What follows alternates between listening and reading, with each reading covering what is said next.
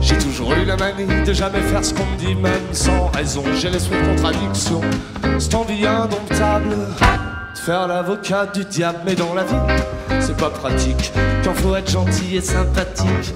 J'ai une montée irrésistible de balancer des trucs horribles. Se donne des petits doux, toi c'est papa et moi chouchou. Là on se rend compte que bon, on se fout vraiment la honte. Et même si on accuse le coup, on sait que c'est rien puis qu'après tout, quand on se croisera au creux d'un lit, moi si tu veux me faire envie, allez dis-moi les mots dégueux, tes idées crades et des trucs foireux qui me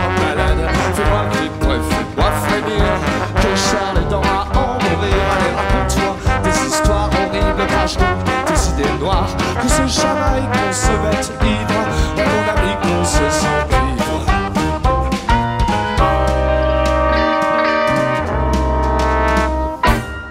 Et quand la chanson française devient si niaise, qu'on dirait la scène du politiquement correct. Si t'es pas trop vulgaire là, ok, tu passes sur France Inter, oui, mais à force de bander mou, toutes leurs chansons valent pas un clou.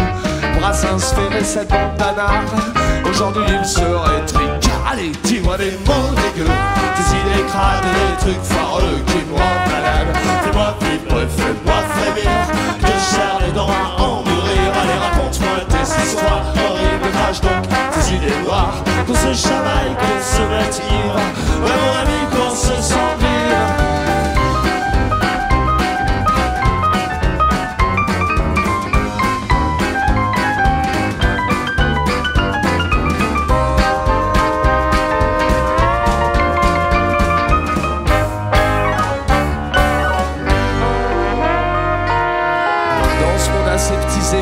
profiter qu'il n'y ait pas encore une loi qui t'oblige à être sympa.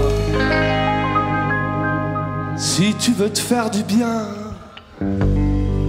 allez vas-y, ça coûte rien.